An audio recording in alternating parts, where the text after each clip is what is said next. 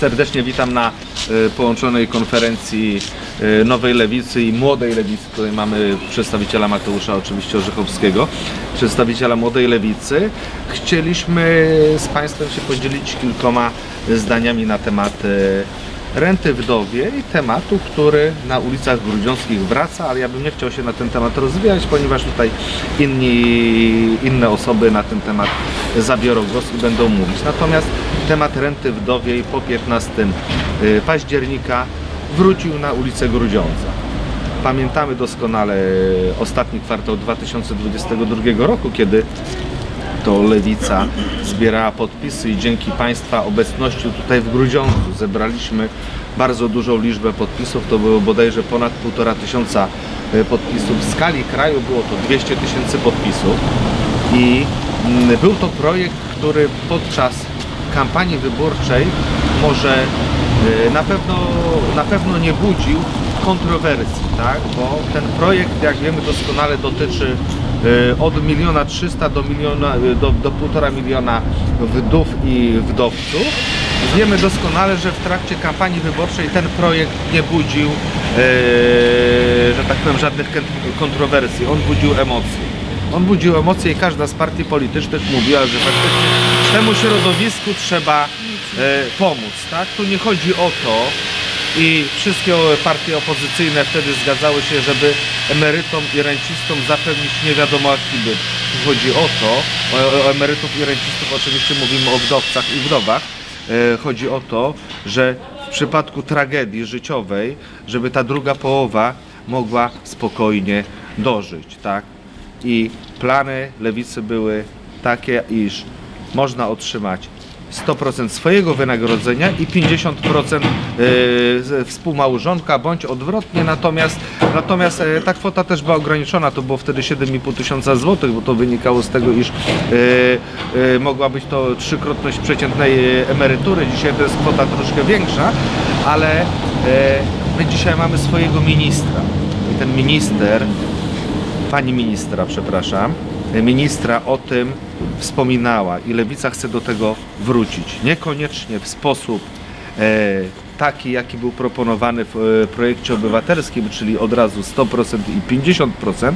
Tutaj poproszę też e, inne osoby, żeby powiedziały o tak zwanym modelu kroczącym. Natomiast myślę jedno, że wiemy jaka jest sytuacja dzisiaj w kraju, być może mieszkańcy czymś innym żyją, tak, kłótnia non-stop, e, jeżeli chodzi o szczyty władzy, ale mówię, to jest projekt, który e, nie powinien dzielić, powinien łączyć i te 10 miliardów złotych, które jest potrzebne rocznie, powinniśmy znaleźć. Tak? Możemy się kłócić o inne rzeczy, możemy się kłócić o pana Wojcika, możemy się sprzeczać o, o to, czy prezydent słusznie zrobił, czy niesłusznie zrobił, natomiast tu mówimy o e, populacji półtora miliona wdów i, wdo, i wdowców, którzy nie chcą czekać, aż ten spór u góry się zakończy, tylko chcieliby zacząć godnie żyć.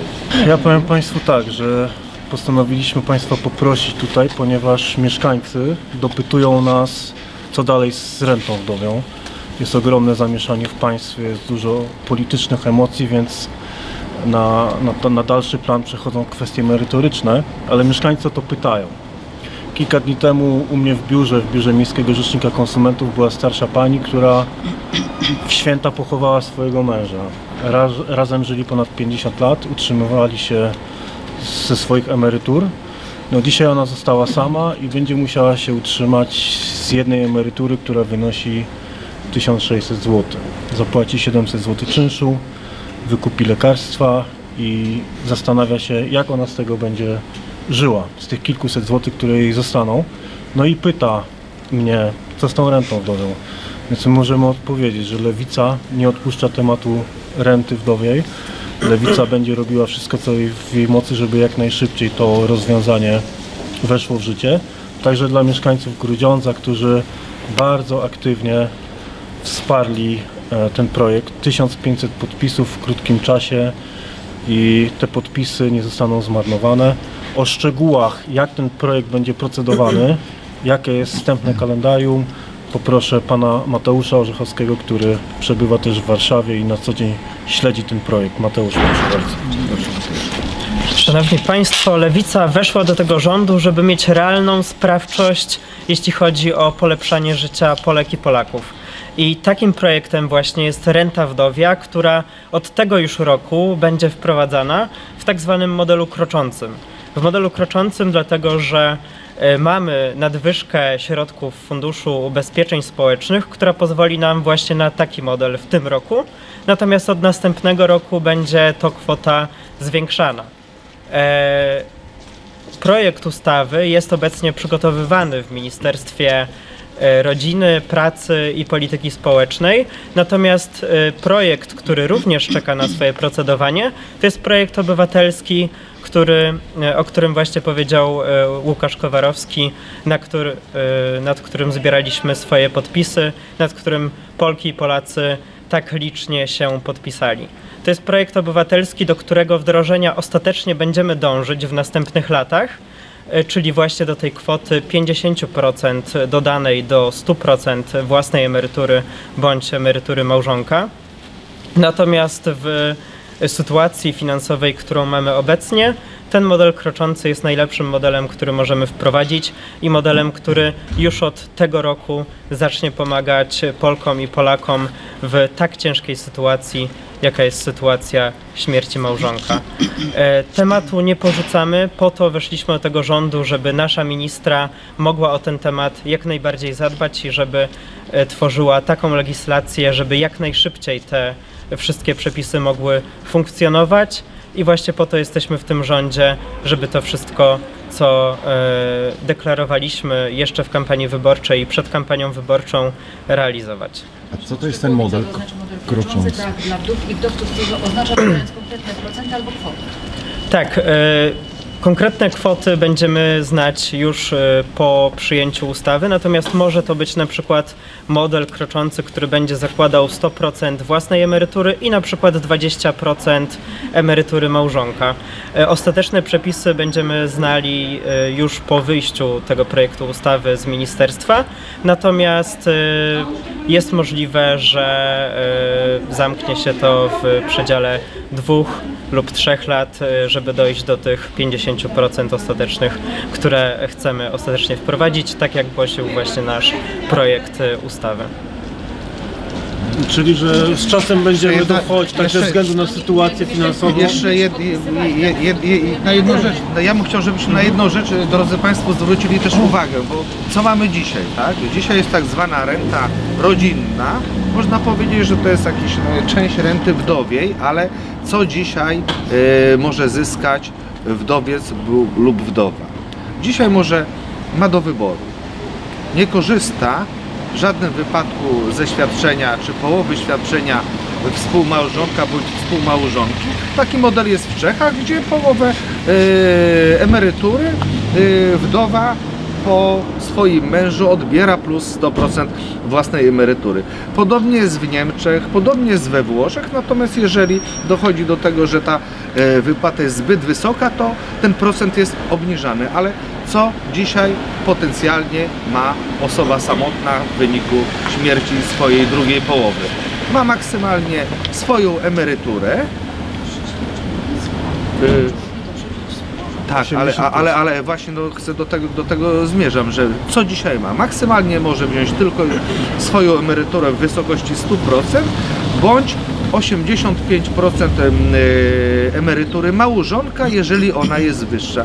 Nic poza tym. Ten projekt i ten model, nawet jeżeli będzie modelem kroczącym i będzie dążył do tego, żeby to było 50%, ja powiem tak, nawet gdyby to było 40%, to warto o to zawalczyć, tak? Bo dzisiaj maksymalnie e, e, wdowa bądź wdowiec ma 100% minus te 40, które mógłby pozyskać. Mówię o mieszkańcach, którzy składali jednak te podpisy. Oni mieli konkretny projekt, konkretne liczby, a dziś nie mają ani konkretnej daty, ani konkretnych liczb. O to mi chodzi. Znaczy tak, ale daty były, daty i kalendarz był określony. e, Ta sprawa miała być jeszcze procedowana przed e, wyborami parlamentarnymi, natomiast Lewica te podpisy zebrała.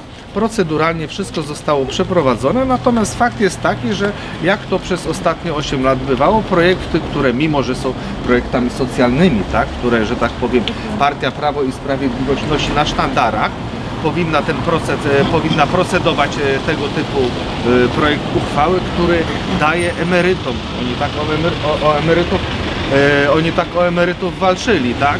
E, okazuje się, że no w tym wypadku ten projekt trafił do zamrażarki. On do tej pory jest w zamrażarce pani Witek. No, nic nie zrobimy. Wtedy mieli większość, dzisiaj my mamy większość.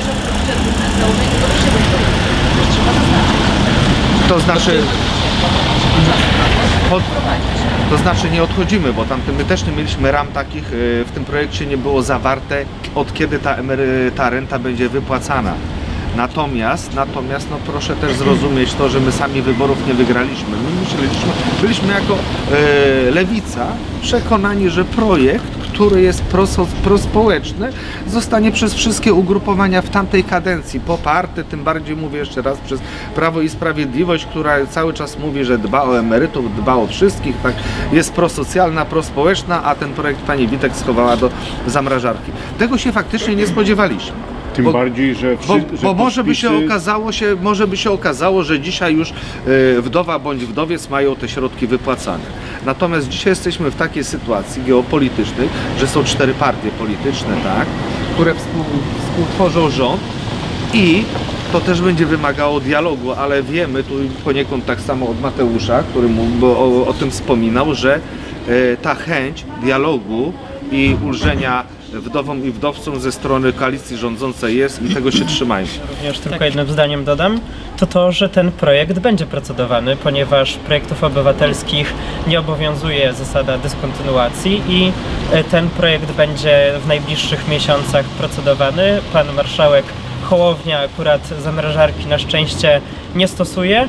E, Więc e, Lewica jak najbardziej deklaruje również poparcie dla tego projektu i właśnie te przepisy, które obecnie będzie wdrażać ministra Dziemianowicz-Bąk będą e, modelem kroczącym, dążącym właśnie do realizacji ostatecznie tej ustawy. pod projektem tej ustawy składali ludzie wszystkich partii o wszystkich poglądach politycznych, bo dotyczy to całego społeczeństwa i dziwię się, że poprzedni rząd PiSu nie dopuścił do głosowania nad tą ustawą. Ona powinna być dawno, bo to jest oczekiwanie społeczne od kilku, od kilkudziesięciu lat.